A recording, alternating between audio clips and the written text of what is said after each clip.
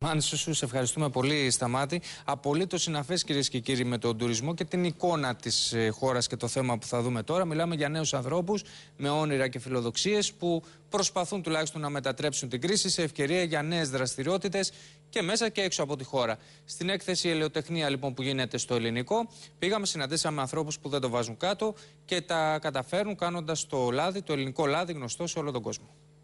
Είναι μια καλή προοπτική γιατί ασχολούνται τα νέα παιδιά με αυτά που έπρεπε να είχαν ασχοληθεί από πάντα. Ε, όπως ο σύζυγός μας, ο οποίος το έχει χρόνια, αλλά ήταν αυτό που λέμε στην Ελλάδα ότι οι οντενεκές το παίρνουν χωρίς να το αξιοποιούν το ελαιόλαδο. Ε, και πλέον είναι μια πάρα πολύ καλή προσπάθεια αυτό που κάνουμε. Η Ελένη μεγάλωσε στο εξωτερικό. Θυμάται πάντα ότι το λάδι έφτανε στο σπίτι του σε τενεκέδες. Όταν γνώρισε τον άντρα της στην Ελλάδα, αποφάσισαν να ασχοληθούν με το λάδι επαγγελματικά και μάλιστα αυτή τη στιγμή τα προϊόντα τους διακινούνται σε ολόκληρη την Ευρώπη. Εγώ έχω γεννηθεί και έχω μεγαλώσει στο Βέλγιο ε, από Έλληνες γονείς μετανάστες. Έχω έρθει τα τελευταία 14 χρόνια στην Ελλάδα, όπου γνώρισα και τον άντρα μου, παντρευτήκαμε και και ξεκινήσαμε από πέρσι αυτή τη, τη δουλειά με το Olive Ο Κώστας είναι μανιάτης, ήξερε από πάντα ότι θα ασχολείται με το λάδι. Μεγάλωσε μαθαίνοντας τα πάντα για αυτόν τον ευλογημένο καρπό.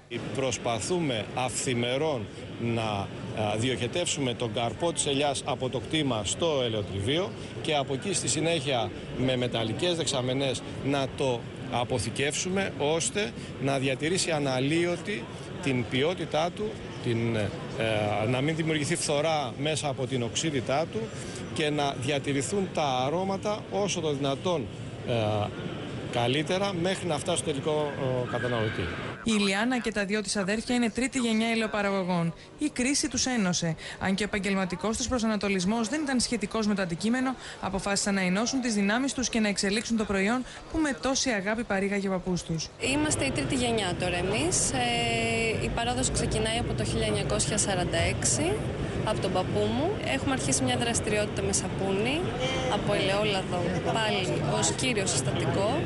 Προσπαθούμε δηλαδή να αξιοποιήσουμε το ελαιόλαδο ε, και σε άλλες ε, μορφές. Παραγωγή από όλη την Ελλάδα ένωσαν τις δυνάμεις τους στην έκθεση που φιλοξενείται στις εγκαταστάσεις του Παλαιού Αεροδρομίου στο Ελληνικό και παρουσιάζουν τα πάντα γύρω από το ελαιόλαδο. Το λάδι βγαίνει από την ελιά κοροναϊκή που έχουμε.